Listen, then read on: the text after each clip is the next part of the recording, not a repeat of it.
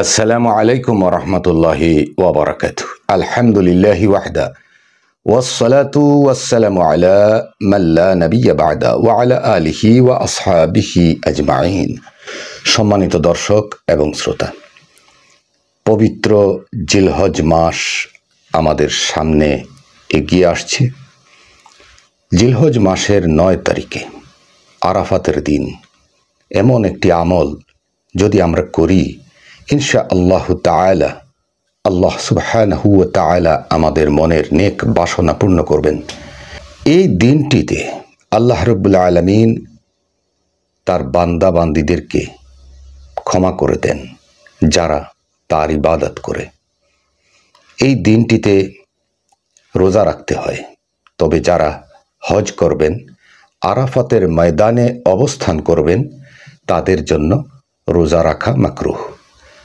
তার বাহিরে যত মুসলিমিন রয়েছেন প্রত্যেকে ওই তারিখে রোজা রাখবেন এবং আমি যে আমলটির কথা বলব সেটি করবেন ইনশা আল্লাহ আরাফাতের দিন হচ্ছে নয় ইজিল হজ।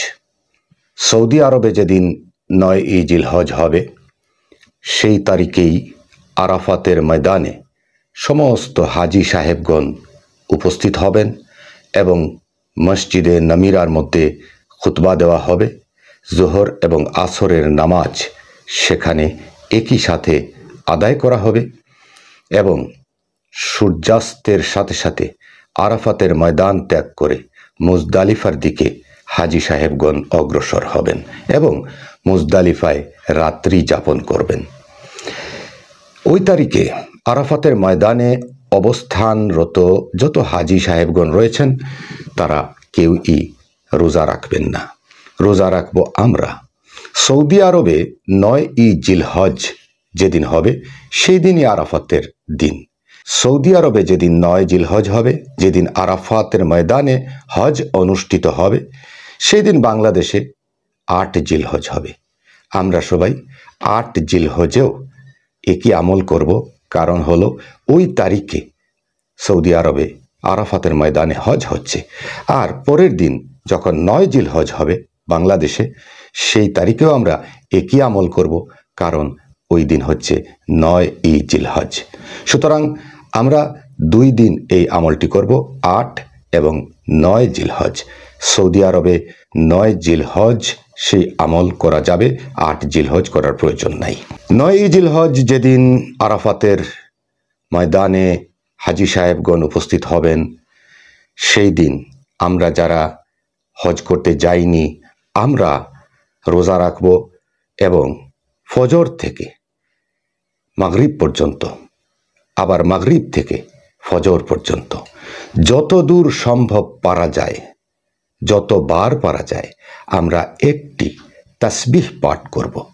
এই তাসবিহ এত শক্তিশালী, এত কার্যকর যে তা বলার অপেক্ষা রাখে না। চলুন তাসবিটি শিখে নেই। তাসবিটি হচ্ছে لا إله إلا الله وحده لا شريك له له الملك وله الحمد وهو على كل شيء قدير. لا إله إلا الله وحده لا شريك له له الملك وله الحمد وهو على كل شيء قدير. আটই জিলহজ থেকে নয় জিলহজ এই দুই দিন আমরা চব্বিশ ঘণ্টা এই তাসবি পাঠের উপরে থাকব। তাছাড়া অন্যান্য মাসনুন ইবাদত করব এবং ওই দুই দিন আমরা রোজা রাখব এবং যতদূর সম্ভব পারা যায় নেক আমল করার চেষ্টা করব, মিথ্যা কথা বলা থেকে বিরত থাকব, অতিরিক্ত কথাবার্তা করা থেকে বিরত থাকব, অশ্লীলতা থেকে দূরে থাকব, নাচ, গান, সিনেমা, নাটক, মোবাইল, চ্যাটিং, ফেসবুক, ইউটিউব থেকে আমরা দূরে থাকব এবং আল্লাহ পাকের কাছে আমাদের মনের নেক বাসনার জন্য দোয়া চাইতে থাকব এবং বেশি বেশি করে ইস্তেফার করতে হবে। কারণ ওই তারিখে আল্লাহ সুবহানাহু ওয়া তাআলা তার মমিন বান্দাদেরকে ক্ষমা করে দেন। অতএব ক্ষমা যদি আমরা পেয়ে যাই, তাহলে আল্লাহর কাছে আমরা যা চাইব তাই হবে। তাই পাওয়া যাবে। আসুন, আমরা বেশি বেশি করে ইস্তেফারের উপরে আমল করি, দুরুদ শরীফের উপরে আমল করি এবং ওই তাসবিটি পাঠ করি আর ওই দিন রোজা রাখি। এই হচ্ছে নয় ই জিলহজ আরাফাতের দিনের মূল আমল, মূল ইবাদত। আমরা কোরআন তেলাওয়াত করব, বেশি বেশি করে নফল নামাজ পড়ব এবং ওই সময়টুকুতে আমরা কাজা নামাজগুলো যদি সম্ভব হয় আদায় করার চেষ্টা করব এবং ওয়াক্তের নামাজ ওয়াক্তেই আদায় করব সৎ পথে চলার চেষ্টা করব, সত্যবাদী থাকার চেষ্টা করব, অশ্লীলতা থেকে দূরে থাকব এবং আমরা অল্প কথা বলার চেষ্টা করব। ইনশা আল্লাহ তালা আশা করা যায় ওই সময়টুকুতে আল্লাহ তালার কাছে আমরা যা চাইব তাই তিনি আমাদেরকে দান করবেন এবং আমাদের গুনাহ তিনি মাফ করে দিবেন। আসুন, এই আমলটুকু আমরা করি এবং অন্যকেও এই আমলটি শেখানোর জন্য, এই আমলটির কথা বলে দেওয়ার জন্য এই ভিডিওটি সওয়াব মনে করে শেয়ার করে দেই। সবাই ভালো থাকবেন, সুস্থ থাকবেন। আল্লাহ হাফিজ। আসসালামু আলাইকুম ওরহমতুল্লাহি ওয়াবারাকাতুহ